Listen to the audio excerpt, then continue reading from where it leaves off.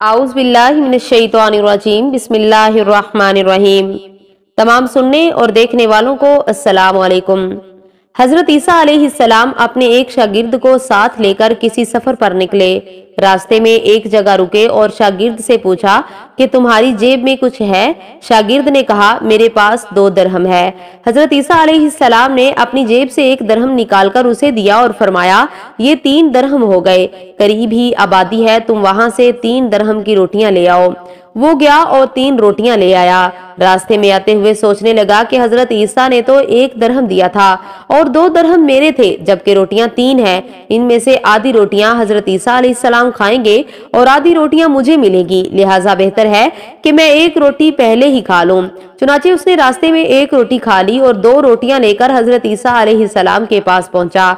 आपने एक रोटी खा ली और उससे पूछा, तीन दरहम की कितनी रोटियाँ मिली थी? उसने कहा, दो रोटियाँ मिली थी, एक आपने खाई और एक मैंने खाई। हज़रत ईसा सलाम वहाँ से रवाना हुए रास्ते में एक दरिया आया। शागिर्द ने हैरान होकर पूछा, ए अल्लाह के नबी, हम दरिया उबूर कैसे करेंगे? जबकि यहाँ तो कोई कश्ती नज़र नहीं आती। हज़रत ईसा सलाम ने फरमाया, घबराओ नहीं, मैं आगे चलूँगा। तुम मेरी अबा का दामिन पकड़कर मेरे पीछे चलते आओ। खुदा ने चाहा तो हम दरिया पार कर लेंगे। चुनाचे हज़रत ईसा सलाम ने दरिया में कदम रखा और शागिर्द ने भी उनका दामन थाम लिया। खुदा के हुक्म से आपने दरिया को इस तरह पार कर लिया कि आपके पाँव भी गीले न हुए। शागिर्द ने ये देख कर कहा, मेरी हज़ारों जाने आप पर कुर्बान। आप जैसा साहिब एजाज नबी तो पहले मबूस ही नहीं हुआ। आपने फरमाया, ये मुआजा देखकर तुम्हारे ईमान में कुछ अजाफा हुआ? उसने कहा, जी हाँ मेरा दिल नूर से भर गया। फिर आपने फरमाया, अगर तुम्हारा दिल नूरानी हो चुका है तो बताओ रोटियाँ कितनी थी? उसने कहा, हज़रत, रोटियाँ बस दो ही थी। फिर आप वहाँ से चले। रास्ते में हिरनों का एक गोल गुजर रहा था। आपने एक हरन को इशारा किया, वो आपके पास चला आया। आपने जिबा करके उसका गोश्त खाया और शागिर्द को भी खिलाया। जब दोनों गोश्त खा चुके तो हज़रत ईसा ने उसकी खाल पर ठोकर मारकर कहा, अल्लाह के हुक्म से ज़िंदा हो जा। तो हरन ज़िंदा हो गया। दूसरे हरनों से जा मिला। शागिर्द ये मोजा देखकर हैरान हो गया और कहने लगा, अल्लाह का शुक्र है, जिसने मुझे आप जैसा नबी और मुअल्लम अनायत फरमाया। हज़रत ईसा सलाम ने फरमाया, ये मोजा देखकर तुम्हारे ईमान में कुछ इजाफा हुआ? शागिर्द ने कहा ए अल्लाह के नबी मेरा ईमान पहले से दुगना हो चुका है। आपने फरमाया, फिर बताओ कि रोटियाँ कितनी थी? शागिर्द ने कहा कि हज़रत रोटियाँ दो ही थी। दोनों रास्ते चलते गए कि क्या देखते हैं? एक पहाड़ी के दामन में सोने की तीन ईंटें पड़ी हैं। आपने फरमाया, एक ईंट मेरी है और एक ईंट तुम्हारी है और तीसरी ईंट उस शख्स की है जिसने तीसरी रोटी खाई। ये सुनकर शागिर्द शर्मिंदगी से बोला, हज़रत तीसरी रोटी मैंने ही खाई थी।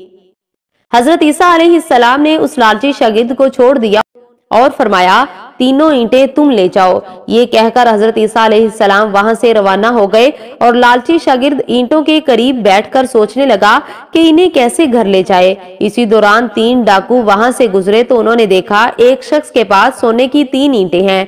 उन्होंने उसे कत्ल कर दिया और आपस में कहने लगे कि ईंटें तीन है और हम भी तीन हैं। लिहाजा हर शख्स के हिस्से में एक एक ईंट आती है। इतफाक से वो भूखे थे। उन्होंने एक साथी को पैसे दिए और कहा कि शहर करीब है। तुम वहाँ से रोटियाँ ले आओ। इसके बाद हम अपना अपना हिस्सा उठा लेंगे। वो शख्स रोटियाँ लेने गया और दिल में सोचने लगा, अगर मैं रोटियों में जहर मिला दूँ तो दोनों साथी मर जाएँगे और तीनों ईंटें मेरी हो जाएँगी। उधर इसके दोनों साथियों ने आपस में मशवरा किया कि अगर हम अपने इस साथी को कत्ल कर दें तो हमारे हिस्से में सोने की डेढ़ डेढ़ ईंट आ जाएगी। जब उनका तीसरा साथी जहर आलूद रोटियाँ लेकर आया तो इन दोनों ने मंसूबे के मुताबिक उस पर हमला करके उसे कत्ल कर दिया। फिर जब उन्होंने रोटी खाई तो वो दोनों भी जहर की वजह से मर गए।